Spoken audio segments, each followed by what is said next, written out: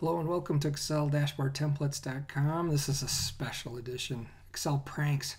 I saw an amazing post on a forum about uh, different Excel pranks you can pull on your coworkers and friends in Excel. Most of them were VBA based, so I thought, well, I wonder if there's something we can do without VBA.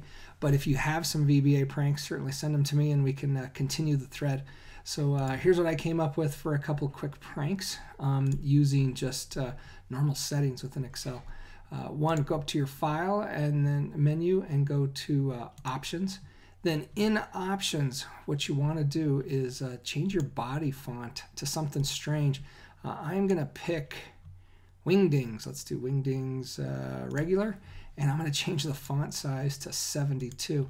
This is going to make the whole screen uh, appear really large and have different, uh, no, instead of numbers, it's going to have wingding information. Then the other thing I wanted to do is customize the ribbon and uh, uncheck all of the different ribbons. Uh, I wish I could uncheck file too, but uh, we can get rid of all those extra ribbons except for the file ribbon. Click on OK. You're going to be required to start your Excel again. Go ahead and click on OK and uh, close out of the uh, file that you're in.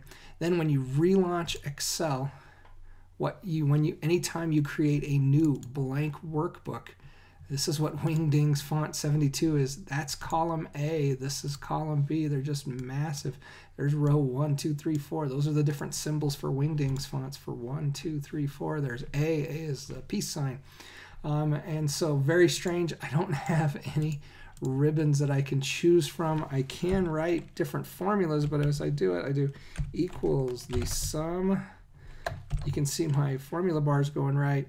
That's a parentheses, sum of column B, and it's going to give me some number. Let's put in some numbers over in column B1 and 2, and uh, just going around anywhere is just uh, horrible. There's a 2, there's a 5, and apparently a keyboard uh, with a chord is the summation of 2 and 5 in Wingdings font. So that's got to be a 7.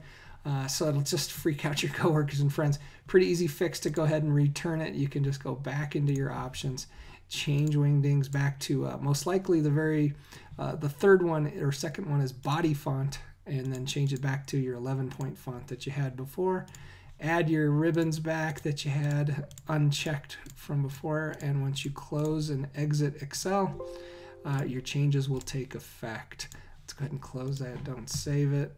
Open up a new blank Excel workbook and uh, there we are back to normal. So uh, what other Excel pranks do you have that are out there?